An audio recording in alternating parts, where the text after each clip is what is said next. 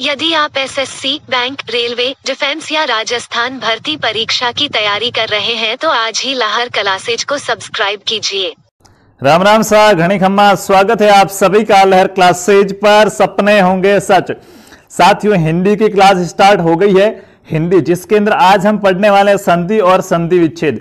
जो पहला भाग था, वो हमने पढ़ा था, वर्ण विचार हमने पढ़ा, वर्णों के बारे में पढ़ा, कि वर्ण क्या होते हैं, स्वर क्या होता है, व्यंजन क्या होता है, उससे पहले हमने हिंदी है, जहाँ से हिंदी की उत्पत्ति हुई है, वहाँ से हम पढ़ते आ रहे हैं। यानी कि एक एक टॉपिक को बहुत ही अच्छे तरीके से पचा पचा के पढ़ रहे हैं, ताकि हमारा एग्ज़ाम के अंदर एक भी क्वेश्चन गलत ना हो। तो आज हम साथियों पढ़ेंगे संधि और संधि विच्छेद। और जो पढ़ाने का तरीका है, वो तो आपको पता ही है, कि संधि है तो ये संधि होती क्या है? संधि विच्छेद है तो ये क्या होता है? उसके बाद आगे बढ़ेंगे, यानी कि एक एक टॉपिक एक एक शब्द आ रहा है, उस एक एक शब्द को अच्छे से याद करके, समझ के फिर आगे बढ़ने वाले हैं। तो क्लास को करते हैं स्टार्ट फटाफट से एक बार सभी दोस्तों को जोड़ लीजिएगा क्लास का लिंक शेयर कर दीजिएगा, सभी को बता दीजिएगा क्लास स्टार्ट हो चुकी है। देखिएगा साथियों, संधि और संधि विच्छेद की बात करें तो सबसे पहले यहाँ पे देखिएगा, लिखने का तरीका, संधि कैसे लिखते हो? कुछ लोग है, वो संधि ऐसे लिखते हैं जबकि कुछ लोग हैं, वो संधि ऐसे भी लिखते हैं। अब ये राइट कौन सा है, बताओ भाई। साथियों, दोनों राइट है। ये संधि के अंदर ही आपको पता चल जाएगा कि दोनों राइट क्यों है। न आधा न होता है, उसको ऊपर बिंदी के रूप में भी लिखा जाता है। कहाँ पे लिखा जाता है? ये अभी आपको संधि पढ़ेंगे तो संधि के एग्ज़ाम्पल के अंदर मिल जाएगा। तो दोनों टाइप से लिख सकते हो। पहली बात तो ये दोनों प्रकार के राइट है। जैसे आप हिंदी लिखते हो ना तो एक तो हिंदी ऐसे लिखते हो, ऊपर बिंदी लगाते हो, और एक बीच में न भी लिखते हो, हिंदी, ठीक है? तो दोनों राइट है भाई। दोनों राइट है, ठीक है? दोनों शुद्ध है। तो ये चीज़ तो आपको यहाँ से समझ में आ जानी चाहिए थी। अब देखिए साथियों हम पढ़ रहे हैं संधि। तो संधि के अंदर सबसे पहले होता क्या है? संधि है क्या? संधि का अर्थ क्या होता है? इसका जो शाब्दिक अर्थ है, हम क्या पढ़ रहे हैं? अभी संधि की बात कर रहे हैं, फिर इसके विच्छेद या विग्रह की बात करेंगे। तो देखिए साथियों, संधि है, संधि शब्द बनता किससे है? सम धन धी से। सम आधा होगा और धन, यानी कि किसका योग है इसके अंदर? धी का। सम धन धी से बनेगा संधि। संधि शब्द को तोड़ा जाए तो कैसे तोड़ेंगे? सम धन धी। ठीक है, अच्छे से समझना साथियों एग्ज़ाम के अंदर यहाँ से आपके दो प्रश्न आएँगे। ठीक है, दो या तीन प्रश्न यहाँ से आ जाते हैं संधि वाले कॉन्सेप्ट से। तो इसको आपको अच्छे से समझना ज़रूरी है। सम धन धी से बनेगा संधि। अब भाई बात करेंगे इसके शाब्दिक अर्थ की, कि इसका शाब्दिक अर्थ क्या होगा? मेरे साथ साथ नोट्स बनाते चलिएगा भाई, ठीक है? बाद में कहोगे, पीडीएफ दो, वो दो, देखिएगा, बोर्ड स्कैन नहीं हो पा रहा है। तो मैंने आपको बता दिया, नोट्स बनाते चलना है, धीरे पढ़ा रहा हूँ, ज़्यादा स्पीड नहीं है, आराम से समझ में आ रहा होगा। शाब्दिक अर्थ क्या है? तो साथियों, सम धन धी, शाब्दिक अर्थ हो जाएगा मेल, मिलना, ठीक है? मेल, इन दोनों का मेल होगा। मेल या जोड़ कह सकते हैं, जोड़ हो रहा है, ठीक है? धन जिसको हम कहते हैं ना, जोड़। समझौता हो रहा है इन दोनों के बीच, क्या हो रहा है? समझौता हो रहा है, ठीक है? आपने पढ़ा होगा संधि की समझौता किया। या फिर कह सकते हैं मित्रता की फ्रेंडशिप की, ठीक है? ये सब इसके शाब्दिक अर्थ हो जाएँगे। संधि का शाब्दिक अर्थ क्या होगा? मेल, जोड़, समझौता या मित्रता। यानी कि संधि होता क्या अभी इसकी परिभाषा से आपको पता चल जाएगा। दो वर्णों के योग में जो दो वर्णों का योग होगा, फिर जो बदलाव होता है, उसे हम संधि कहते हैं, ठीक है? किसको कहेंगे? देखिएगा, दो वर्णों के योग होगा और उसमें जो बदलाव होगा उसको संधि कहेंगे, अभी बताएँगे। ठीक है, सिर्फ़ दो वर्णों के योग को संधि नहीं कहेंगे। दो वर्णों के योग के बाद उसके अंदर परिवर्तन भी होना चाहिए, बदलाव भी होना चाहिए। तो सबसे पहले तो संधि बना किससे है?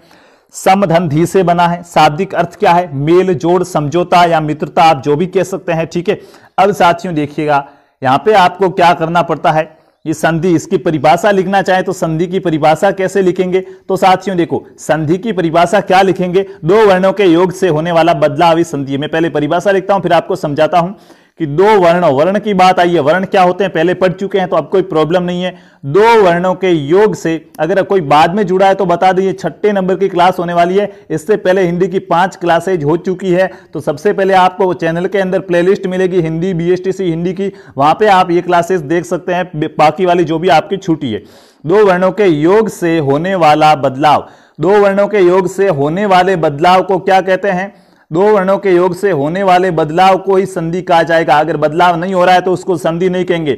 दो वर्णों के योग से होने वाले बदलाव को क्या कहा जाता है? दो वर्णों के योग से होने वाले बदलाव को संधि कहते हैं। आप कहोगे, अगर बदलाव नहीं हो रहा है तो साथियों, अगर बदलाव नहीं हो रहा है बदलाव नहीं हो रहा है। अगर बदलाव नहीं हो रहा है तो क्या होगा? अगर साथियों, बदलाव नहीं हो रहा है तो वो संधि नहीं होगी। वो क्या होगा? वो संयोग होगा। उसको हम संयोग कहेंगे। क्या कहेंगे? संयोग हुआ है, वो जुड़े हैं सिर्फ़। संधि नहीं हुई है। संधि कब होगी? दो वर्ण जुड़ेंगे, उसके बाद उसमें बदलाव होना चाहिए। कैसे बदलाव? अभी बात करते हैं।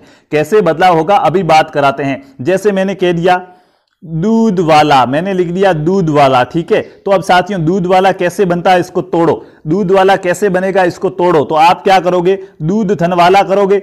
ये दूध हो गया प्लस वाला। दूध प्लस वाला से क्या बन रहा है? दूध वाला। कहाँ पे हुई है? मेरे को संधि बताओ। ये दूध था अलग, ये वाला अलग। ऐसा का ऐसा यहाँ पे हमने साथ में लिख दिया, दूध और वाला। यानी कि साथ में ये लाइन बेस्ट खींची है दोनों के ऊपर, बाकी इसके अंदर कुछ जुड़ा उड़ा परिवर्तन हुआ क्या? कुछ परिवर्तन नहीं हुआ है। तो यानी इसमें परिवर्तन नहीं हुआ है तो ये संधि नहीं है। अब ये दूध वाला में क्या हुआ है? संयोग हुआ है, संधि नहीं हुई है। समझ में आना चाहिए। संधि होगी तो एकाधा अक्सर जैसे हमने समधन धी किया था। समधन धी किया था, समधन धी किया था तो बन क्या रहा था? संधि बन रहा था। अब ये कैसे बन रहा था? समधन धी था। म कहाँ गायब हो गया और बिंदी आ गई, यानी कि ये परिवर्तन हुआ है। तो परिवर्तन होगा तो ही संधि होगी। अगर बदलाव नहीं हो रहा है, परिभाषा अच्छे से याद कर लो। हाँ सभी गलत याद करके बैठे हैं कि दो वर्णों से, दो वर्णों का मेल होता है, उसे संधि कहते हैं। नहीं भाई, दो वर्णों के योग से होने वाले बदलाव को संधि कहेंगे। दो वर्णों का मेल तो होना चाहिए, लेकिन मेल के बाद अगर बदलाव हो रहा है उनके अंदर तो ही हम उसको संधि कहेंगे। अगर बदलाव नहीं हो रहा है तो वो संधि नहीं, संयोग होगा। क्या होगा? संयोग। तो ये चीज़ तो आपको यहाँ से क्लियर हो गई। अब भाई देखिएगा, अब चलते हैं आगे। संधि की परिभाषा आपकी क्लियर हो गई।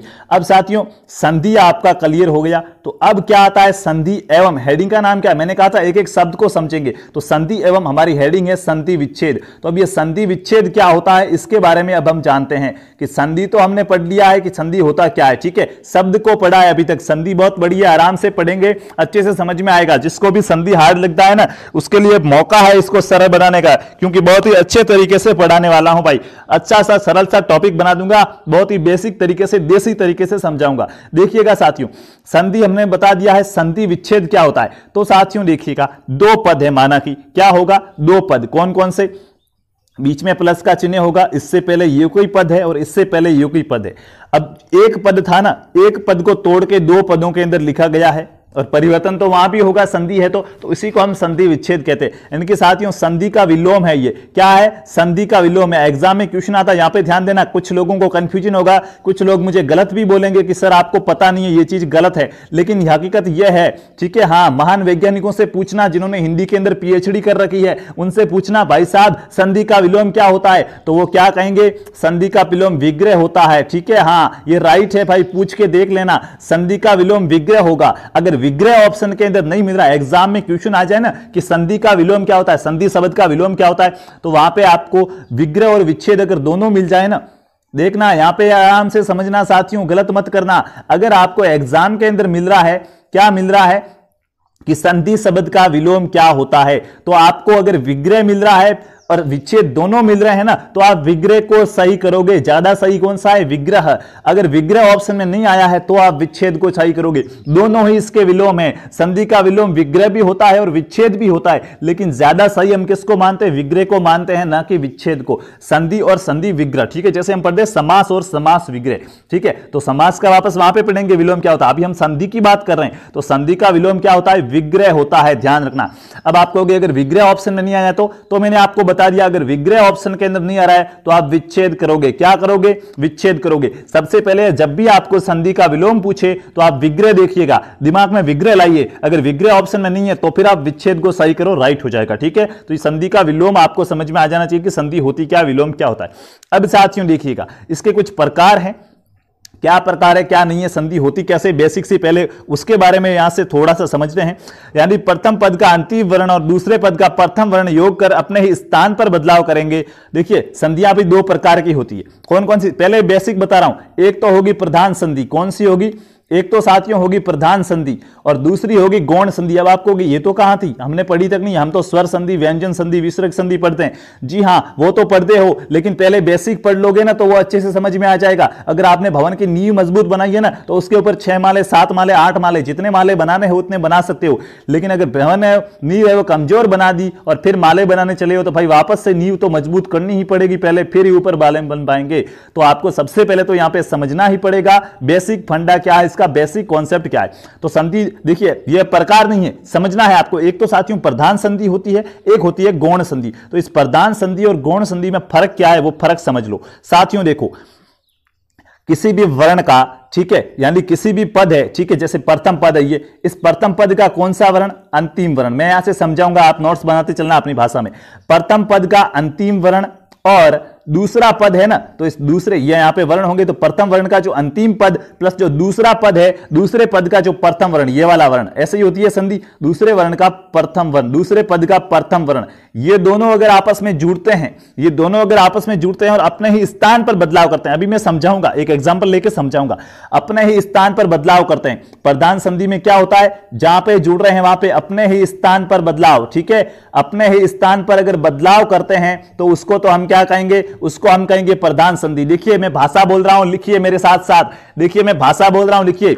यदि प्रथम पद का अंतिम वर्ण, यदि प्रथम पद का अंतिम वर्ण तथा द्वितीय पद का प्रथम वर्ण आपस में जुड़कर अपने ही स्थान पर बदलाव करते हैं तो उसको प्रधान संधि कहा जाता है। गौण संधि में क्या होगा? बदलाव है वो दूसरी जगह होगा। जुड़ेगा तो यहाँ भी प्रथम पद है तो इसका ये अंतिम वर्ण प्लस ये दूसरा पद है तो इसका ये प्रथम वर्ण। जुड़ेगा तो यहाँ भी ये, लेकिन यहाँ पे जो बदलाव होगा वो बदलाव कहाँ पे होगा? इसी स्थान पर नहीं होगा, यहीं पे बदलाव नहीं होगा, दूसरी जगह होगा। बदलाव है वो दूसरी जगह होगा। अब कैसे होगा? एक ऐसा एग्जांपल लेते हैं, जिसके अंदर प्रधान संधि भी है और गौण संधि भी है। ठीक है? हाँ प्रधान संधि भी है और गौण संधि भी है। ऐसा एग्ज़ाम्पल लेके आपको बताते हैं। देखिएगा, ये समझ में आया नहीं आया पहले? एक एग्ज़ाम्पल लेते हैं, समझ में आ जाएगा। चलिएगा भाई, देखिएगा। मैंने लिख दिया रामायण, बताओ भाई, कौन सी संधि, प्रधान या गौण? बताओ। तो देखिएगा, मैं इसको कैसे एक्सप्लेन करूँगा साथियों? रामायण का शब्द का संधि विच्छेद क्या होता है? राम धन अयन होता है। राम धन क्या होता है? राम धन अयन होता है। अब यहाँ पे देखिएगा, यहाँ पे देखिएगा, जब भी ये प्लस होगा तो यहाँ पे कुछ कंडीशन बनेगी, मैं आपको बताता हूँ। ये प्लस है ना? ये प्लस है ना? तो इस प्लस से ये जो इधर वाला भाग और इधर वाला भाग, दो भाग आपको दिख रहे हैं। ये वाला भाग ये है और ये वाला भाग ये है। तो साथियों, इस वाले भाग को क्या कहा जाता है? प्रथम पद कहा जाएगा। क्या कहा जाएगा? प्रथम पद कहा जाएगा। इसको क्या कहा जाएगा? द्वितीय पद कहा जाएगा। द्वितीय पद कहा जाएगा। इसको पहला पद कहा जाएगा तो इसको क्या कहा जाएगा? दूसरा पद कहा जाएगा। दूसरा पद इसको कहा जाएगा। इसी प्रकार अगर इसको पूर्व पद कहा जाएगा ना तो इसको पर पद कहा जाएगा। पूर्व पद और पर पद दिमाग में रखना है यहाँ से, ठीक है? पहले वाला पद आता है, उसको प्रथम पद, पहला पद या पूर्व पद भी कहा जाएगा। जो दूसरे वाला पद होता है, उसको द्वितीय, दूसरा या पर पद भी कहा जाएगा, ठीक है? तो अब यहाँ पर मैंने आपको क्या कहा था? कि प्रथम पद प्रथम पद का अंतिम वर्ण क्या है? म। और दूसरे पद का प्रथम वर्ण म। अगर म और अ जुड़ के इसी स्थान पर अगर परिवर्तन हो ना, इन्हीं दोनों में परिवर्तन हो तो उसको तो कहते थे प्रधान संधि। क्या कहा जाता था? प्रधान संधि। और अगर परिवर्तन यहाँ भी ना यहाँ हो या ना हो, लेकिन अगर दूसरी जगह और दूसरी जगह भी बदलाव होता है तो उसको कहते थे गौण संधि। तो अब देखो, यहाँ पे मैं ये एग्जांपल लेके आपको बताता हूँ। रामायण है। क्या है? रामायण है। कैसे बनता है? रामधन अयन से बनता है रामायण। रामधन अयन ठीक है? तो रामधन अयन से बना रामायण। अब साथियों, यहाँ पे देखिएगा आपको कुछ दिख रहा होगा। क्या दिख रहा होगा? ये प्रथम पद ये द्वितीय पद, ये प्रथम पद का अंतिम वर्ण, ये द्वितीय पद का प्रथम वर्ण, ये दोनों आपस में क्या करेंगे? योग करेंगे। और आपस में योग करने पर अगर इसी स्थान पर परिवर्तन होता है तो वो आती है प्रधान संधि। तो देखिएगा म और अ के स्थान पर परिवर्तन हो रहा है ना? बिल्कुल, यहाँ माँ बन रहा है। इसी स्थान पर अभी म और अ है ना? तो ये म और अ जुड़ के क्या बना रहे हैं? माँ बना रहे हैं। और यहाँ पे माँ बन रहा है मैंने कि इसी स्थान पर परिवर्तन हो रहा है तो ये तो प्रधान संधि हो गई। क्या हो गई? प्रधान संधि की इसी स्थान पर परिवर्तन हो रहा है। अब परिवर्तन एक जगह और हो रहा है, यहाँ पे न था और यहाँ पे हणा हो रहा है। मतलब अब दूसरी जगह भी हुआ, जुड़ा कौन है? जुड़ा तो म और अ है। तो ये तो परिवर्तन यहाँ पे होना स्वाभाविक है, जो हो गया तो प्रधान संधि होगी। लेकिन जुड़े तो ये है, लेकिन यहाँ पे न था और हमने हणा लिख दिया। क्या लिख दिया? हणा लिख दिया। यानी कि यहाँ पे भी परिवर्तन हुआ है तो दूसरी जगह परिवर्तन होगा। देखिएगा। प्रथम पद का, प्रथम पद का कौन सा? अंतिम वर्ण। प्रथम पद का अंतिम वर्ण जुड़ता है, प्लस। जो द्वितीय पद है कौन सा द्वितीय पद होता है? द्वितीय पद का कौन सा प्रथम वर्ण? द्वितीय पद का प्रथम वर्ण जुड़ते हैं। अगर ये दोनों जुड़ के परिवर्तन जहाँ पर जुड़े हैं, वहाँ पे होता है। परिवर्तन अगर उसी स्थान पर होता है, परिवर्तन अगर उसी स्थान पर होता है तो तो वो संधि कौन सी? प्रधान संधि। जैसे कि यहाँ पे देखिए, म और जुड़ के परिवर्तन कर दिया, माँ बन गए और परिवर्तन अगर दूसरे स्थान पर होता है परिवर्तन अगर दूसरे स्थान पर होता है तो वो संधि कैसी होगी? वो संधि हो जाएगी गौण संधि। कौन सी संधि हो जाएगी? गौण संधि हो जाएगी। तो देखिएगा, यहाँ पे ये न था और यहाँ पे हना हो गया। जुड़े तो ये, लेकिन परिवर्तन यहाँ पे हुआ है तो ये संधि यहाँ पे हो जाएगी गौण संधि, यानी कि रामायण शब्द के अंदर कौन सी कौन सी संधि है? प्रधान संधि भी है और गौण संधि भी है। इसी एग्ज़ाम्पल को लेके मैंने आपको प्रधान संधि और गौण संधि दोनों के बारे में बातें बता दी। तो अब संधि क्या होता है? ये तो आपका कंप्लीट हो गया। संधि और संधि विच्छेद क्या होता है? ये चीज़ तो आपकी यहाँ से कंप्लीट हुई या नहीं हुई? बताओ, संधि और संधि विच्छेद के बारे में तो पता चल गया नहीं, ये क्या होता है, क्या नहीं होता है? तो अब हम क्या पढ़ने वाले हैं? संधि के प्रकार, देखते हैं, संधि तीन प्रकार की है तो तीन ही क्यों है? चार क्यों नहीं? पाँच क्यों नहीं? सात क्यों नहीं? आठ क्यों नहीं? तीन प्रकार क्यों रखे संधि का? क्या उनका मन पड़ा वैसे रख दिया। नहीं भाई, संधि के तीन प्रकार क्यों होते अभी बात करेंगे, ठीक है? हाँ। बहुत ही अच्छी बात है यहाँ पे आपको सीखने में मिलेगी कि संधि के हम प्रकार पढ़ रहे हैं तो संधि के कितने प्रकार होते हैं? आप सब बोलोगे संधि के तीन प्रकार होते हैं। संधि के कितने प्रकार होते हैं पूछूँ तो आप सब क्या कहोगे कि संधि के तीन प्रकार होते हैं। साथियों, तीन प्रकार ही क्यों नहीं? बताओ। तीन प्रकार क्यों? चार क्यों नहीं? पाँच क्यों नहीं? तो यहाँ पे आप ध्यान दो। क्या ध्यान दो? संधि के तीन प्रकार होते हैं। ये लिख दो, मैं मिटा रहा हूँ और मैं आपको बताता हूँ कि ये संधि के तीन प्रकार क्यों होते हैं। तो साथियों, देखो, संधि के तीन प्रकार क्यों होते हैं? वर्ण होते हैं ना, वर्ण। वर्णों के योग से संधि बनती है। वर्ण होते हैं, वो आपस में योग करते हैं, तभी संधि होती है। तो साथियों, जो वर्णों का योग है ना, ये छह प्रकार से होता है। क्या होता है? वर्णों का योग है, वो छह प्रकार से होता है। यहाँ पे ध्यान देना, अच्छे से समझना। वर्णों का यहाँ से अगर अच्छे से समझोगे ना तो आपको सारी संधियाँ कंप्लीट हो जाएगी। वर्णों का जो योग है, ये योग कितने, छह प्रकार से होता है। वर्णों का योग है, वो साथियों, योग कितने प्रकार से होता है? वर्णों का योग छह प्रकार से होता है। ये छह प्रकार कैसे देखिएगा? वर्ण है ना कोई पद होगा साथियों, पहला पद। तो पहले पद के अंत में क्या आएगा? ये पद है लास्ट में, यानी कि अंतिम पद होगा। अंतिम पद में होता है तो ये यहाँ पे माना कि अंतिम के अंदर स्वर आ गया। जैसे मैंने लिख दिया, राम तो म म म के साथ क्या है? आधा म और अ है तो अंतिम के अंदर स्वर आया या नहीं आया? तो इस वाले स्वर की बात कर रहा हूँ। यानी कि किस किस प्रकार से इसका योग हो रहा है, वो बात कर रहा हूँ। तो देखो साथियों, अगर अंतिम में स्वर आ गया, फिर वापस इसका तो पहला पद होगा और ये पीछे रहेगा। यानी कि साथियों, यहाँ पर अगर वापस क्या आ गया? छह प्रकार से किस किस प्रकार से हो रहे हैं, देखिएगा। हेडिंग है पहली, यहाँ पे पहला किस किस से हो रहा है? ये कोई पद है, इसके लास्ट में आ गया स्वर। और यहाँ पे पहले स्टार्टिंग के अंदर क्या आ रहा है? स्टार्टिंग के अंदर ही आ रहा है स्वर। स्टार्टिंग के अंदर ही आ रहा स्वर और पीछे कोई पद आ रहा है, इस प्रकार की संधि होती है या नहीं होती है? इस प्रकार की संधि होती है। यानी कि पीछे, देखिए, प्रथम वर्ण का अंतिम वर्ण अच्छे से समझना, अगर यहाँ से जिसको क्लियर हुआ, समझ में आया, उसकी पूरी संधि है, वो ईजी हो जाएगी। यहाँ से जिसको समझ में नहीं आया, मेरे भाइयों, संधि नहीं आएगी, फिर बोलोगे, ये टॉपिक हार्ड है। बिल्कुल हार्ड नहीं है। बेसिक से समझा रहा हूँ, किसी ने नहीं समझाया होगा आपको तो अच्छे से समझना भाई, ठीक है? बेसिक से समझा रहा हूँ। देखिएगा बेसिक से कैसे? संधि होती कैसे? कोई वर्ड होगा, उसके पीछे स्वर आ गया। और यहाँ पे कोई पद है, इससे पहले संधि होती भाई, जैसे राम धन हमने अयन किया था, ठीक है, अच्छे से समझना बेसिक से समझाने की कोशिश कर रहा हूँ। राम तो ये राम है, इसके पीछे क्या रहा है अ आ रहा है और प्लस यहाँ आगे क्या आ रहा? है अ आ रहा है। तो ये ये स्वर है और ये क्या है? ये स्वर है। तो ऐसी में बात कर रहा हूँ। यानी कि कोई पद है, कोई पद के सबसे लास्ट में क्या आ रहा है? स्वर आ रहा है। और दूसरे वाला पद प्रथम पद के अंत में स्वर है और दूसरे वाले पद के पहले स्वर है। तो ये स्वर और स्वर जुड़ रहे हैं। कौन जुड़ रहे हैं? स्वर और स्वर। और जब स्वर और स्वर जुड़ते हैं तो कौन सी संधि होती है? स्वर संधि। ठीक है? तो पहली संधि कहाँ से निकली पता चल गया। फ़र्स्ट संधि कहाँ से निकली? स्वर और स्वर। ये वर्णों का पहले टाइप था, वहाँ से पहली संधि निकल गई स्वर। अब दूसरे प्रकार से वर्ण कैसे जुड़ते हैं तो देखिएगा, वर्ण दूसरे प्रकार से स्वर और स्वर तो जुड़ गए। अब हो सकता है पहले स्वर आ जाए और फिर क्या आ जाए? व्यंजन आ जाए। ठीक है, अच्छे से लिखता हूँ ताकि आपको क्लियर हो सके। देखिएगा, ये कोई पद है, इस पद के लास्ट में क्या आ गया? स्वर। पहले पद के लास्ट में स्वर आ गया और ये दूसरा पद है, दूसरे पद के पहले क्या आ गया? व्यंजन। और फिर ये दूसरा पद है। तो ऐसे भी तो हो सकता है कि स्वर और व्यंजन जुड़े। या फिर ऐसे भी हो सकता है कि यहाँ पे व्यंजन आ जाए यहाँ पे व्यंजन आ जाए और यहाँ पे क्या आ जाए? स्वर आ जाए, फिर पद हो। या फिर तीसरा तरीका, दोनों व्यंजन व्यंजन हो सकते हैं ना?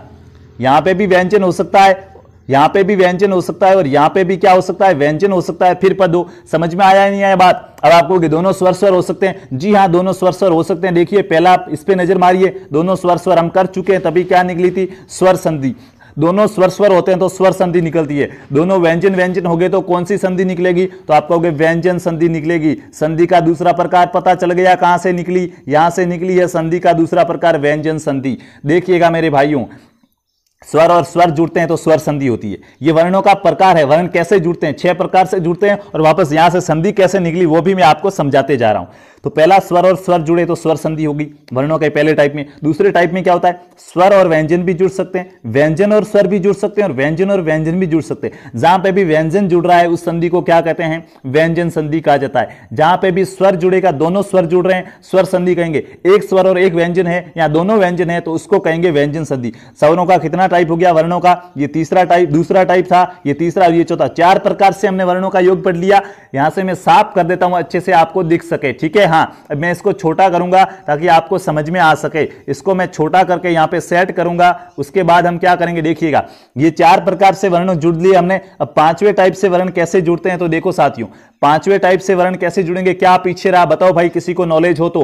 पाँचवें टाइप से क्या पीछे रहा? विश्राग हाँ विसर्ग हो सकता है, ठीक है, कोई पद है, पद के लास्ट में विसर्ग हो सकता है और प्लस पहले वाला जो पद जुड़ रहा है, वो स्वर के साथ भी तो जुड़ सकता है, फिर वो वापस, या ऐसा हो सकता है कि लास्ट में क्या हो? विसर्ग हो। ठीक है, पहले पद के लास्ट में विसर्ग हो और इस पहले पद के पहले क्या हो? व्यंजन हो। ऐसा भी तो हो सकता है। तो साथियों, जहाँ पे विसर्ग जुड़ेगा, इस संधि को कहा गया विसर्ग संधि। बस, वर्णों का स प्रकार से योग होता है। देखिए, छह प्रकार कौन कौन से मैं हाईलाइट करके यहाँ पे बताता हूँ। हाईलाइट करे हुए दिखागा नहीं तो कोई बात नहीं, थोड़ा ऐसा ले लेते हैं भाई। हाँ ये दिखेगा अच्छे से। तो देखो भाई हाईलाइट करके बता रहा हूँ।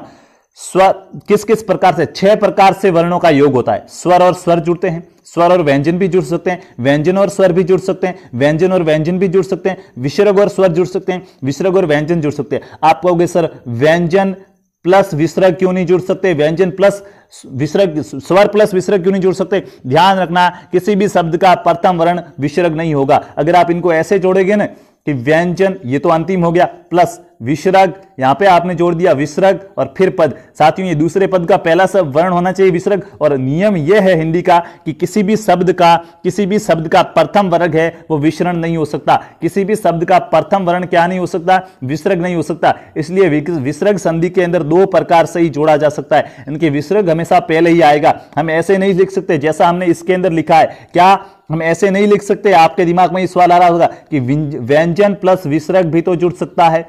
व्यंजन प्लस स्वर भी तो जुड़ सकता है। व्यंजन हाँ अब यहाँ पे व्यंजन और स्वर प्लस विसर्ग भी तो जुड़ सकता है। नहीं साथियों, स्वर प्लस विसर्ग जुड़ेगा तो ये कोई पद हो जाएगा, इससे पहले वाला ये होगा और किसी भी पद का, किसी भी शब्द का पहला वर्ण होगा, वो विसर्ग नहीं हो सकता। ये हिंदी का नियम है, याद रखना, किसी भी शब्द का पहला वर्ण क्या, विसर्ग नहीं हो सकता। तो हम इसको इस प्रकार से नहीं जोड़ सकते। तो छह प्रकार कौन से हुए? वर्णों का छह प्रकार से योग।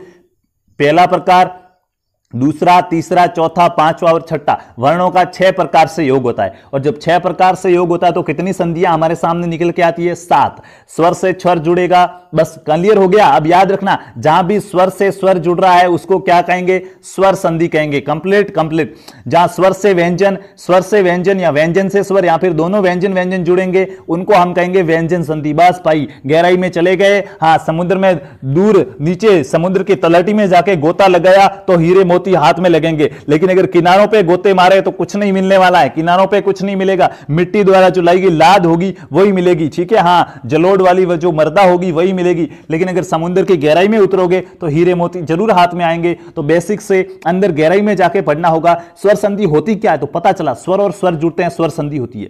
कैसे बनी पता चल गया। वर्णों का छह प्रकार से योग होता है। उसमें से वन टाइप से बनती है स्वर संधि। स्वर और व्यंजन जुड़ो। व्यंजन और स्वर जुड़ो। या फिर दोनों दोनों व्यंजन हो तो वो व्यंजन संधि बनती है। विसर्ग आया है, फिर स्वर जुड़ रहा है, या फिर विसर्ग आया है, फिर व्यंजन जुड़ रहा है तो उसको कहा जाता है विसर्ग संधि। बस तीन प्रकार की संधि क्यों होती है, पता चला या नहीं चला? तीन प्रकार की ही संधि क्यों होती है, चार प्रकार की क्यों नहीं, पाँच प्रकार की क्यों नहीं? साथ ही वर्णों का योग छह प्रकार से ही हो पाता है। और इन छह प्रकारों को हम तीन प्रकार के अंदर ही डोनेट अलग अलग कर पाते हैं। आपने देख लिया विसर्ग विसर्ग आ रहा है, समान हो जाएगा। स्वर जोड़ो या व्यंजन जोड़ो, विसर्ग संधि कहेंगे। स्वर स्वर है तो स्वर संधि कहेंगे और बाकी वाले जो चार है, स्वर के साथ व्यंजन जोड़ो या व्यंजन के साथ स्वर जुड़ो या फिर दोनों व्यंजन हो, उसको हम व्यंजन संधि कहेंगे।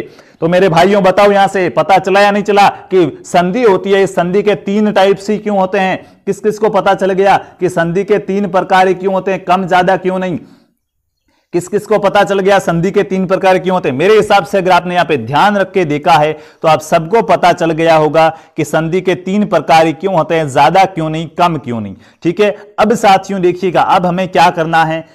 संधि के तीन प्रकार कौन कौन से होते हैं? एक बार मैं आपको लिखा देता हूँ, यहाँ पे संधि के अब प्रकार कैसे होते हैं तीन, वो तो मैंने आपको बता दिया। तो अब संधि के तीन प्रकार कौन कौन से होते हैं तो लिखिएगा आप। नोट्स बनाते चलिएगा, बहुत ही अच्छी चीज़ें हैं, भविष्य में काम आएगी, ठीक है? संधि के प्रकार होते हैं साथियों, तीन मुख्य रूप से। कौन कौन से तीन प्रकार होते हैं? पहली संधि होती है स्वर संधि। कौन सी? स्वर संधि। कैसे बनती है? अभी आपको बताया, ठीक है? स्वर और स्वर जुड़ेंगे। दूसरी संधि कौन सी होती है? आप कहोगे व्यंजन संधि होती है। कैसे बनती है? व्यंजन के साथ स्वर स्वर के साथ व्यंजन या फिर दोनों व्यंजन जुड़ेंगे तो बनेगी व्यंजन संधि। समझ में आ गया? तीसरी संधि होती है विसर्ग संधि। कौन सी संधि? विसर्ग संधि। कैसे बनती है? विसर्ग के साथ स्वर या व्यंजन जुड़ने पर बनती है विसर्ग संधि। तीनों प्रकार के संधियाँ समझ में आ गई। किस प्रकार होती है? क्या होती है? अब भाई देखिएगा। संधि के तीन भेद क्यों होते हैं वो तो आपको पता चल गया। तो अब हम बात करेंगे स्वर संधि की। पहला कौन सा है? स्वर संधि पहला प्रकार कौन सा? स्वर संधि तो अब हम बात करेंगे स्वर संधि की कि ये स्वर संधि क्या होता है। हमें यहाँ पे अच्छे से समझना है, ज़्यादा एग्ज़ाम्पल नहीं लेने बस इसका बेसिक जो काम है ना, वो काम क्लियर करना है कि वास्तव में इसका आधार क्या, ये होगा कैसे? एग्ज़ाम्पल चाहे दस करो, हज़ार करो या एक करो, समझ में आना चाहिए, ठीक है? तो देखिएगा, अब हम पढ़ने वाले हैं स्वर संधि स्वर संधि पढ़ने वाले हैं, पहला टाइप से इसका स्वर संधि हेडिंग लगा दीजिएगा स्वर संधि क्या पढ़ने वाले हैं? स्वर संधि पढ़ने वाले हैं, साथियों। स्वर संधि। अब पढ़ेंगे भाई स्वर संधि। तो स्वर संधि को साथियों देखिएगा, स्वर संधि में स्वर प्लस स्वर जुड़ता है, आप सबको पता है। स्वर के साथ स्वर जुड़ेगा, मैंने आपको बता दिया था। स्वर संधि होती कैसे, यानी कि बहुत सी चीज़ें बेसिक है, वो आपको अभी पता चल गई। क्या हो रहा था? ये कोई पद था, इसके अंत में स्वर आ रहा था, और ये दूसरा पद था तो इसके पहले स्वर आ रहा था, और बाद में ये वाला पद होता था। यानी कि स्वर के साथ स्वर का योग होगा। स्वर संधि में क्या होता है? स्वर के साथ स्वर का योग। ठीक है? स्वर के साथ क्या होगा? स्वर का योग होगा। ऐसी संधि को क्या कहेंगे? स्वर संधि। परिभाषा चाहे तो लिख सकते हो। योग होने के बाद क्या होगा? योग से होने वाला बदलाव भाई कहेंगे। बदलाव होना ज़रूरी है, ठीक है? स्वर के साथ स्वर के योग से होने वाला बदलाव, ठीक है? स्वर के साथ स्वर के योग से, यहाँ से अच्छे से लिख देता हूँ भाई, स्वर के साथ, स्वर के साथ स्वर का योग होने से, स्वर के साथ स्वर का योग होने से होने वाला, होने होने से होने वाला या उत्पन्न बदलाव। उत्पन्न बदलाव क्या कहलाता है? उत्पन्न बदलाव कहलाएगा स्वर संधि। तो स्वर संधि किसे कहते हैं? समझ में आया? स्वर के साथ स्वर का योग होगा तो उससे जो उत्पन्न बदलाव होगा, जिससे जो भी बदलाव होगा, उस बदलाव को कहेंगे, क्या कहेंगे? स्वर संधि, ठीक है? बदलाव नहीं हो रहा तो वो क्या हो जाएगा? संयोग हो जाएगा, संधि नहीं होगा, ये चीज़ तो आपको पता चल गई होगी। तो स्वर के साथ स्वर का योग है, स्वर संधि, बात खत्म। ये स्वर संधि के कितने भेद होते हैं? तो स्वर संधि के पाँच प्रकार होते हैं। अब आप कहोगे, वहाँ पे तो बड़ी बड़ी फेंक रहे थे कि तीन प्रकार कैसे होते हैं, मैं बताता हूँ। अब बताओ, ये पाँच प्रकार क्यों है? छह क्यों नहीं? बिल्कुल भाई, ये भी अभी बताते हैं कि स्वर संधि है ना? स्वर संधि के पाँच प्रकार क्यों है? तीन क्यों नहीं, चार क्यों नहीं, छह क्यों नहीं? पाँच प्रकार ही कैसे रखे इन्होंने? तो अब देख लेता, यहाँ भी समझ लेते, जैसे वहाँ पे तीन प्रकार समझ दे आपको पता चल गया कि स्वर संधि में क्या होता है, स्वर और स्वर जुड़ते हैं, व्यंजन संधि में क्या होता है, विसर्ग में क्या होता है, आपको पता चल गया। वैसे अभी हम यहाँ स्वर संधि के पाँच प्रकार है तो ये पाँच प्रकार क्यों होते हैं, जैसे ही समझेंगे तो आपको पता चल जाएगा कि स्वर संधि के पाँचों प्रकार कौन कौन से हैं और कैसे ये बनते हैं, आराम से पता चल जाएगा। तो भाई देखो, अब बात करते हैं पाँच प्रकारों की, ये पाँच प्रकार क्यों होते हैं और कैसे होते हैं। हेडिंग लगा देता हूँ मैं यहाँ पे हेडिंग ना लगाऊँ तो भी चलेगा। साथियों, आपने वर्णमाला पढ़ी या नहीं पढ़ी है? वर्णमाला पढ़ी या नहीं पढ़ी है? कितने स्वर होते हैं? तो आप कहोगे, स्वर होते हैं ग्यारह। कितने स्वर होते हैं? ग्यारह स्वर होते हैं। ठीक है?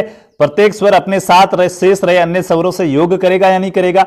बिल्कुल करेगा। ठीक है? अब कुल जोड़े कितने स्वरों के? स्वर होते हैं ग्यारह। और प्रत्येक स्वर एक दूसरे स्वर से योग करता है। स्वर संधि का मतलब क्या होता है? स्वर प्लस स्वर, ठीक है? तो ये ग्यारह स्वर होते हैं और ये वापस ग्यारह स्वरों के साथ क्या करेंगे? योग करेंगे। यानी कि एक आदमी ग्यारह के साथ योग करेगा, ये भी ग्यारह के साथ, ये भी ग्यारह के साथ। ऐसे ग्यारह आदमी ग्यारह ग्यारह से जुड़ेगा, यानी कि एक सौ इक्कीस जोड़े बनने वाला है, ग्यारह का स्कोर हो जाएगा। ये जोड़ों से आपको मतलब नहीं रखना, ये तो बेसिक सी चीज़ें हैं। आपको तो ये मतलब रखना है कि संधि अब हो कैसे रही है। तो स्वर ग्यारह होते हैं, आप सबको पहले ही बता दिया है, पहले ही पढ़ा दिया गया है कि स्वर है वो ग्यारह होते हैं बेसिक से हिंदी के अंदर। तो देखो कौन कौन से होते हैं? एक बार मैं लिखता हूँ यहाँ पे। ठीक है? कौन कौन से होते हैं? एक बार मैं यहाँ पे लिखता हूँ। तो देखिएगा, एक तो साथियों, देखिए अब पूरा नहीं लिखूँगा, ठीक है? क्योंकि यहाँ पे आपको एक एक समझाना पड़ेगा। या फिर एक बार पूरा लिख देता हूँ, कोई बात नहीं। अ होता है साथियों, अ के बाद आ आएगा आ के बाद क्या आएगा? तो आ के बाद आप कहोगे छोटी ई आएगा, उसके बाद क्या आएगा? बड़ी ई आएगा, उसके बाद क्या आएगा? ऊ आएगा, उसके बाद बड़ा ऊ आएगा। बहुत अच्छी चीज़ है, ध्यान रखना। यहाँ से जिसको समझ में आ गया, पूरा संधि सरल हो जाएगा, नहीं तो ज़िंदगी भर कहोगे संधि हार्ड है हार्ड है। लेकिन आज मैं आपकी संधि बहुत सरल करने की कोशिश कर रहा हूँ। ये बड़ा ऊ आ गया, बड़ा ऊ के बाद क्या आएगा? तो आप कहोगे बड़ा ऊ के बाद छोटी री आती है। छोटी री के बाद क्या आता है? ए आएगा, उसके बाद ये वाला ए आएगा, उसके बाद क्या आएगा? ओ आएगा। और उसके बाद क्या आएगा? आउ आएगा। हो गए भाई ग्यारह गिनो। एक, दो, तीन, चार, पाँच, छह, सात, आठ, नौ, दस और ग्यारह। बिल्कुल, स्वर ग्यारह हो गए। स्वर हो गए हमारे ग्यारह। तो ये स्वर है। अब ये आपस में जुड़ते कैसे हैं? स्वर से स्वर जुड़ते हैं, तभी स्वर संधि होती है तो इसमें व्यंजन को तो बीच में टपकाना नहीं है। स्वर से स्वर जोड़ो तो अब जोड़ो इनको। कैसे होते हैं ये ग्यारह? पता तो करना पड़ेगा ना भाई। तो साथियों, क्या होता है? यहाँ पर मैं आपको बेसिक सी चीज़ें बताने वाला हूँ। देखो होता क्या है? अगर ये सम्मान सम्मान के साथ जुड़ेंगे ना, ध्यान रखना भाइयों, अब समझना बहुत ज़रूरी है। अब समझना बहुत ज़रूरी, नहीं तो यहाँ पे आपका सभी एक साथ मिक्स हो जाएगा। समान समान के साथ जुड़ेंगे। ये समान समान वाले आपको जोड़े दिख रहे हैं नहीं दिख रहे हैं? अगर ये समान समान के साथ जुड़ रहे हैं, ऊ तक, ठीक है, आगे नहीं जाना है। ऊ तक अगर समान समान के साथ जुड़ रहे हैं तो इस संधि को हम क्या कहते हैं? उस संधि को कहते हैं दीर्घ संधि। कैसे? माना कि अ है साथियों, ये अ किसके साथ जुड़ रहा है? अ, आ के साथ जुड़ रहा है। या फिर आ है, ये किसके साथ जुड़ रहा है? अ के साथ जुड़ रहा है। आ, अ के साथ जुड़ रहा है या फिर आ, अ के साथ जुड़ो या अ, आ के साथ जुड़ो, अगर कहीं ऐसा हो रहा है तो इन दोनों से क्या बनेगा? हमेशा आ ही बनेगा। यानी कि इसका दीर्घ रूप ही बनता है। देखिए, संधि भी आपको यहाँ से समझ में आ जाएगी। संधि भी कंप्लीट हो जाएगी। कल मेरे को बस थोड़ा सा इसको एक्सप्लेन करना रहेगा। देखो भाई, अ चाहे आ से जुड़ो या आ चाहे अ से जुड़ो, बात तो एक ही है, ठीक है? अ, आ से जुड़ेगा या आ, अ से जुड़ेगा तो ये वाली इस दोनों कंडीशन के अंदर क्या बनेगा? आ बनेगा। यानी कि इसका दीर्घ रूप बनेगा। ठीक है, ये चीज़ समझ में आ गई? उसी प्रकार, ई चाहे साथियों, बड़ी ई से जुड़ो या फिर बड़ी ई है वो छोटी ई से जुड़ो, इस कंडीशन के अंदर हमेशा क्या बनेगी? बड़ी ई बनेगी। ये चीज़ ध्यान आ गई? आ गई। छोटा ऊ चाहे बड़े ऊ के साथ जुड़ा अब ये कैसे जुड़ेंगे, ये समझ में नहीं आ रहा होगा तो ये मैं समझाऊँगा। जब संधि पढ़ेंगे तब। अभी तो मैं आपको संधि के पाँच प्रकार है तो ये जो स्वर संधि है, स्वर संधि के पाँच प्रकार है तो पाँच प्रकार कैसे वो समझा रहा हूँ। अगर ये आपको समझ में आ गया तो संधि अपने आप आपकी समझ में आ जाएगी, ठीक है? हाँ ये यकीन मानिए, संधि अपने आप आ जाएगी। क्योंकि जब मैं संधि पढ़ाऊँगा तो आपको ये तो आप पहले पढ़ा चुके हो। हाँ भाई, प्रकार कैसे होते हैं, वहीं से तो पता चलता है कि ये बनी कैसे हैं। तो ध्यान रखना भाई अच्छा सा नॉलेज मिलने वाला है। इसी प्रकार साथियों उस छोटा ऊ से चाहे बड़ा ऊ मिलो या बड़ा ऊ से चाहे छोटा ऊ मिलो, उस कंडीशन के अंदर हमेशा बड़ा ऊ मिलेगा। बस यहाँ तक, तीन स्टेप तक जाना है। कहाँ तक? आ, ई और बड़ा ऊ तक। आ, ई और बड़ा ऊ तक जाना। यहाँ तीन स्टेप के अंदर साथियों, जो भी बड़े मिलते हैं, बड़े का मतलब क्या होता है? दीर्घ होता है। ठीक है? बड़े वाला यहाँ पे वरीयता किसको मिली है? अ और आ मिलके आ बना रहे हैं। छोटी ई और बड़ी ई मिलकर बड़ी ई बना दिया और छोटे ऊ और बड़े ऊ ने मिलकर बड़ा ऊ बना दिया। यानी कि कौन सा वर्ग यहाँ पे ज़्यादा वरीयता है? दीर्घ वाला है। ठीक है? दीर्घ वाला है, दीर्घ रूप यहाँ पे आ रहा है। तो इस संधि का नाम दे दिया गया दीर्घ संधि। ठीक है? ये पहला टाइप हो गया संधि का। प्रथम प्रकार से इस संधि का नाम क्या दिया गया? दीर्घ संधि हो गई। ये इसका पहला भाव हो गया। अब दीर्घ संधि क्या होती है? जहाँ भी आ मिला रहे हैं, जहाँ आ बन रहा है, ई बन रहा ऊ बन रहा है, समान वर्णों से। समान जाति के हमने पढ़ा था, सजातीय। इनकी जाति समान है या नहीं है? हाँ तो ये समान जाति वाले मिलकर बड़ा वाला वाला बना रहे हैं, अपने वाला। इनको मत लेना, ठीक है? ओनली फॉर तीन स्टेप को यहाँ तक मत जाना, ये ध्यान रखना। इनके लिए अलग है, ठीक है? हाँ तो यहाँ तक जा रहे हैं। तीन स्टेप के अंदर ही होती है दृग संधि। समझ में आ गया? उसके बाद देखो, उसके बाद आगे क्या होता है? अब आगे साथियों, क्या होता है? उसकी बात करते हैं गुण संधि की। तो गुण संधि में क्या होता है साथियों? अ हो या आ हो, ठीक है? अब यहाँ पे थोड़ा सा आपको दिक्कत होगी। चलो, मैं अलग अलग दोबारा दोबारा लिख लिख के समझा देता हूँ ताकि अच्छे से समझ में आ सके। दोबारा लिखता हूँ, यहाँ पे आपके नहीं मिटाऊँगा। ये मैं क्या कर देता हूँ? थोड़ा सा छोटा कर देता हूँ। पहली संधि कैसे हो रही है समझ में आ गई? तो अब बात करूँगा मैं दोबारा दूसरी संधि की, कि दूसरी संधि कैसे होगी? ठीक है, मैं यहाँ पे दोबारा लिखूँगा आपकी सेवा के लिए। क्या लिखूँगा दोबारा? वही, अ, आ ई, उ, अ, आ ई, देखिए, ये समझना बहुत ज़रूरी है, इसलिए आपके लिए इतनी मेहनत कर रहा हूँ कि ये समझ में आ जाए ना तो भाई संधि बहुत आपका सरल बन जाएगा और सभी संधि से डरते हैं, लेकिन वो डर अगर भाग जाए ना तो मुझे यहाँ से बहुत खुशी मिलेगी कि आपकी संधि कंप्लीट हो गया। देखिए, इसके अंदर साथियों क्या होता है, दूसरे टाइप संधि के अंदर क्या होता है, ये जो अ और आ है ना, ये अ और आ पर ही निर्भर होगी। अ और आ किन किन के साथ जुड़ेंगे? तो साथियों, मेरे भाइयों, बहनों, देखो, अ और आ अगर ई के साथ जुड़ते हैं तो क्या बनेगा? ए बनेगा। अगर अ और आ, ई के साथ जुड़ते हैं तो ए बनेगा, चाहे अ प्लस छोटी ई आओ या फिर बड़ा आ आ प्लस छोटी ई आओ, इन दोनों से क्या बनने वाला है? ए बनने वाला है। ये जो, ये वाला ए है ना, ये वाला ए इनसे बनता है। तो अगर ये ए बन रहा है तो ये पहला टाइप हो गया, एक तो ये। इस प्रकार अगर ए बन रहा है तो ठीक है, यहाँ पे क्या बनेगा? ए बनेगा। ये ए है भाई, ठीक है, थोड़ा सा साफ़ नहीं लिखा है तो मैं लिख देता हूँ। अ और आ मिलके छोटी ई से क्या मिला रहे चाहे अ जुड़ो या आ जुड़ो, छोटी ई के साथ जुड़ के ए बनाएँगे, उसके बाद यही अ और आप बड़ी ई के साथ जुड़ के क्या बनाएँगे आप कहोगे? बड़ी ई नहीं, चाहे छोटी ई के साथ जुड़ो या बड़ी ई के साथ जुड़ो, ये इन दोनों से जुड़ के ही क्या बनाएँगे? ए बनाएँगे। बात समझ में आ रही है नहीं आ रही, देखिएगा। यहाँ से मेरी कोशिश है आपको पूरी समझाने की, मैं आपको लिए यहाँ पे थोड़ा सा स्पष्ट कर लेता हूँ। जोड़ना कैसे वो बता देता हूँ भाई। देखो साथियों हाँ यहाँ सब कुछ हमारा वापस आ गया, देखो। यहाँ पे आपको कैसे, एक बात समझ लो, यहाँ पे कान गांठ बाँध के यहाँ से सुनो भाई, देखिएगा, क्या सुनिए ये अ और आ है ना, ये अगर छोटी ई और बड़ी ई के साथ जुड़ेंगे ना, ये अ और आ अगर छोटी ई और बड़ी ई के साथ जुड़ेंगे तो ए बनेगा। अ चाहे साथियों, छोटी ई के साथ जुड़ो या बड़ी ई के साथ जुड़ो आ चाहे छोटी ई के साथ जुड़ो या बड़ी ई के साथ जुड़ो, हमेशा क्या बनेगा? ए बनेगा। और जहाँ ऐसा होगा, वो पहला प्रक्रम है। आपको समझ में आ गया? पहले वाला आपको समझ में आ गया कैसे बन रहा? उसी प्रकार ये वाले अ और आ अब ऊ और ऊ के साथ भी तो जुड़ सकते हैं। तो अगर ये अ और आ है, ये ऊ और ऊ के साथ, यानी कि कैसे? अ और आ, ऊ और ऊ के साथ जुड़ेंगे तो क्या बनेगा? तो आपको पता होना चाहिए, ओ बनेगा। क्या बनेगा?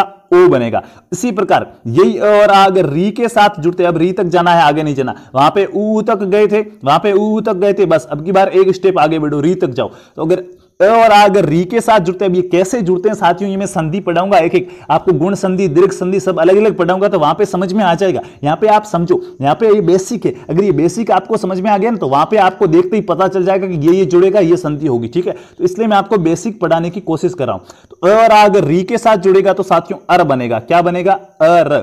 ये तीन बन रहे हैं।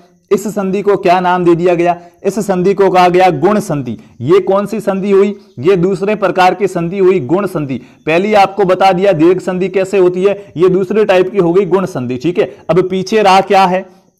तो आप कहोगे पीछे रहे ए ए और औ औ। ओके, ए ए और औ औ की अभी बात करते हैं। इनकी क्या जड़ है? अगर साथियों, अ और आ है। अगर साथियों, अ और आ है, अ और आ क्या हो रहा है? अगर अ और आ साथियों, ए और ए से जुड़ रहे हैं, चाहे अ जुड़ो ए से आ जुड़ो ए से। कैसे जुड़ते हैं वो मैं समझाऊँगा, एक बार समझा चुका हूँ, अगर नहीं आया समझ में, पूरी संधि पढ़ाऊँगा। पहले ये बता रहा हूँ, इसके पाँच प्रकार क्यों है वो समझा रहा हूँ। तो अ और आ अगर ए और ए से जुड़ेंगे तो बड़ा ए ही बनेगा। ठीक है, बड़े वाला ही बनेगा। उसी प्रकार अ और आ अगर औ और औ से जुड़ेंगे तो भी क्या बनेगा?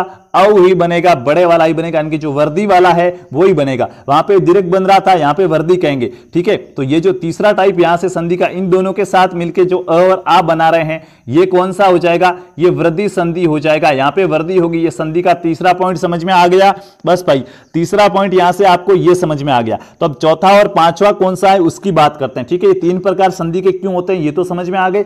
अब चौथा प्रकार स्वर संधि की बात कर रहा हूँ, ठीक है भाई? चौथा प्रकार में क्या होगा? जो छोटी ई है ना ये छोटी ई और बड़ी ही है ना, इस छोटी ई और बड़ी ई के साथ अन्य असमान इनके समान न हो, अन्य भले कोई सा असमान इनके जैसा न हो, अन्य कोई भी जुड़ेगा तो क्या होगा? ये क्या होगा? ये ई होगी ना, ये वाली ई, ये ये में बदल जाएगी, ये ये में बदल जाएगी और यहाँ पे उसकी जो भी मात्रा होगी, वो मात्रा लग जाएगी। इसी प्रकार ऊ और ऊ होगा तो ऊ और ऊ के साथ भी कोई अन्य असमान स्वर जुड़ेगा तो क्या होता है? ये ऊ होता है, ये व में बदल जाएगा और उसकी मात्रा लग जाएगी। और इसी प्रकार री है ना तो री के साथ कोई अन्य जुड़ेगा तो ये री है वह र के अंदर बदल जाएगी और उसके पास वाली मात्रा लग जाएगी। ये तीसरा टाइप हो जाएगा। इस वाली संधि को कहते हैं यण संधि। क्या कहा जाता है? यण संधि। ठीक है? ये संधि का चौथा टाइप है। ठीक है? तीन पढ़ चुके हैं। दीर्घ, वर्दी और गुण बता दिया कैसे बनती है? अभी तक हमने संधि नहीं पढ़ी है। ये बनी कैसे? दीर्घ संधि कैसे बनती है? वो बताया। अभी तक संधि को हम पूरा एक्सप्लेन करके पढ़ेंगे। तो ये हो गया। अब साथियों, देखिएगा। चौथा टाइप हो गया। पाँचवें टाइप की संधि। ए है, ए के साथ क्या होगा? कोई भी स्वर की बात हो रही है। ए के साथ अगर कोई भी स्वर जुड़ेगा, ठीक है? ए के साथ कोई भी स्वर जुड़ो ओ के साथ कोई भी स्वर जुड़ो और औ के साथ कोई भी स्वर जुड़ेगा तो एक क्या बन जाता है? ए बन जाता है आय ये बड़ा ए बन जाता है आय ये ओ बन जाता है औ.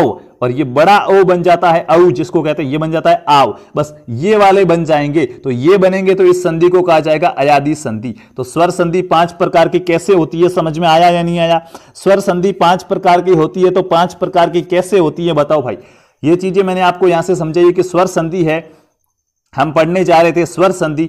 मैंने आपको कहा कि स्वर संधि कितने प्रकार की होती है? तो आपने कहा कि स्वर संधि है वो पाँच प्रकार की होती है। यहाँ से आप सबको बहुत ही यूँ बोरिंग लग रहा होगा, समझ में नहीं आ रहा होगा। पहली बार पढ़ रहे हो भाई, ये चीज़ें आपको पता तक नहीं थी तो कैसे आएगा समझ में? तो ये पाँच प्रकार की होती है। कैसे होती कौन कौन सी होती है, वो मैंने आपको समझा दिया कैसे बनती है। सबसे पहले हम पढ़ेंगे, इसके अंदर क्रम याद रखना अच्छा रहेगा, समझ में जल्दी आएगा। दीर्घ संधि। दीर्घ संधि के बाद आती है दीर्घ गुण वर्दी, ऐसे याद रखो। दीर्घ गुण वर्दी क्या होगी? दीर्घ गुण वर्दी होगा, उसके बाद यण अयादि होगा। यण संधि और उसके बाद क्या होगा? अयादि। ये पाँच प्रकार है, एक ही क्लास के अंदर साथ में मैं खत्म करूँ तो अच्छा लगेगा मेरे को और आपको दोनों को भी, क्योंकि एक दूसरे की कंपेयर करके खत्म करेंगे ना, तुलना करके तो आराम से समझ में आ जाएगा। तो आज हमने पढ़ा है साथियों, संधि होती क्या है? किस प्रकार से इसके क्या क्या प्रकार है, किस प्रकार से ये बनती है? ठीक है? हाँ मुख्यतः संधि के तीन प्रकार होते तो वो तीन प्रकार क्यों होते हैं? तो वहाँ से अगर आपको बेसिक इस क्लास को मैं आपसे हाथ जोड़ के रिक्वेस्ट करता हूँ, अच्छे से समझना। अगर समझ में नहीं आ रहा है तो दो बार देख लेना, तीन बार देख लेना। फिर भी समझ में नहीं है तो मैं पेन और पेपी जो कॉपी होती है उस पर रफली लिख के आपको समझा दूँगा कि ऐसे ऐसे होता है। लेकिन समझना बहुत ही ज़रूरी है, क्योंकि यहाँ से आपको ये बेसिक है, ये क्या है? नींव है। संधि बनती कैसी है? अगर वो आपको पता चल गया ना तो वहाँ पे आप नहीं अटकोगे, जहाँ पे हम संधि करने वाले हैं, संधि पढ़ेंगे। तो साथ क्यों देखिएगा? स्वर संधि पढ़ रहे हैं हम।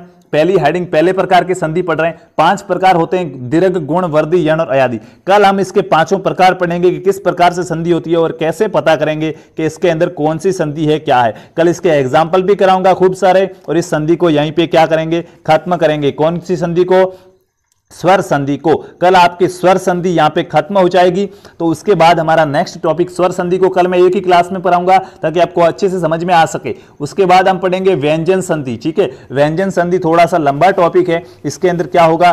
चार आपने देखे थे, व्यंजन प्लस व्यंजन होता है, व्यंजन प्लस स्वर होता है, स्वर प्लस व्यंजन होता है, ये चीज़ें थी इनके अंदर तो इसको भी हम देखेंगे। ज़्यादा लंबा तो नहीं है, इसको आराम से हम कर देंगे। इसके क्या है? थोड़े से नियम है, उपसर्ग परते वगैरह इसमें आ जाते हैं और इसके थोड़े से नियम है, ठीक है? तो नियमों को हम पढ़ लेंगे कि किसका साथ किसका योग होता है। मेरे हिसाब से मैं कोशिश करूँगा व्यंजन संधि है वो एक ही क्लास के अंदर खत्म कराने की। कोशिश मेरी रहेगी एक ही क्लास में खत्म कराने की। एक नहीं तो दो क्लासों के अंदर तो हंड्रेड खत्म हो जाएगी। तो उसके बाद विसर्ग संधि है, जो एक क्लास के अंदर क्या हो जाएगी? खत्म हो जाएगी। तो ये संधि है, तीन से चार क्लासों के अंदर आपकी खत्म हो जाएगी। हाँ चिंता नहीं करनी है, हिंदी का सिलेबस बहुत ही फास्ट चलने वाला है और अच्छे से समझ में भी आने वाला है। ये समझना बहुत ही ज़रूरी है। मैं एक बार पुनः कह रहा हूँ, ये आज बेसिक कॉन्सेप्ट था। संधि होती कि अब बाद में आपको अब आगे कहीं प्रकार नहीं मिलेंगे। प्रकार का मतलब क्या होता है? कि ये ये तरीके हैं इस इस टाइप से ये बनती है। तो वो बनी कैसे, वो मैंने आपको बता दिया तो अब संधि होती कि आप कर लोगे। अब आपको जहाँ भी क्या दिखेगा, आप जहाँ भी देखोगे कि ई के साथ कोई इसके जैसा नहीं है, ई नहीं है, और दूसरा अ वगैरह कुछ भी जुड़ रहा है, कोई भी स्वर जुड़ रहा है, और वहाँ पर ये बन रहा है तो आप क्या कह दोगे, साहब ये यण संधि है। क्यों? क्योंकि अभी मैंने आपको बता दिया कि यण संधि बनती कैसे। तो अब तो आपको यहाँ पे बेसिक डिटेल थी, वो मैंने आपको बता दी है। कल साथियों, हम स्वर संधि के पाँचों प्रकारों को खत्म करेंगे। कल आपकी स्वर संधि खत्म हो जाएगी, ठीक है? स्वर संधि एक ही क्लास के अंदर खत्म हो जाएगी। एग्ज़ाम्पल सहित उदाहरण देके भी समझाऊँगा। तो अगर आप सबसे पहले आपको क्या करना पड़ेगा? ये समझ में नहीं आए तो 100 परसेंट आपको ये समझ में आएगा, तभी आपको स्वर संधि समझ में आएगी। और मेरी यहाँ से आपको कोशिश है कि स्वर संधि जो आपका सबसे हार्ड टॉपिक है, इसको सबसे सरल टॉपिक बना सकूँ। तो इसके लिए आपको मेरा सहयोग देना होगा, मुझे सहयोग देना होगा, मुझे सहायता देनी होगी। सहायता कैसी देनी है? अपने दिमाग की। आपका दिमाग दो यहाँ पे और इसको समझो अच्छे से, ठीक है? तभी आपका जो संधि है वो सरल टॉपिक बन पाएगा। और एग्ज़ाम के अंदर दो से तीन प्रश्न आते हैं तो अच्छे से आप नंबर वहाँ पर ला पाएँगे। साथियों, ये था हमारा आज की क्लास संधि का अगला भाग हम कल कल की क्लास में पढ़ेंगे। तब तक के लिए खुश रहिए अच्छे रहिए अपने माता पिता की सेवा कीजिए। हम मिलेंगे अगली क्लास के अंदर। जय जय राजस्थान जय हिंद जय भारत वंदे मातरम। यदि आप एसएससी, बैंक रेलवे डिफेंस या राजस्थान भर्ती परीक्षा की तैयारी कर रहे हैं तो आज ही लाहर क्लासेज को सब्सक्राइब कीजिए।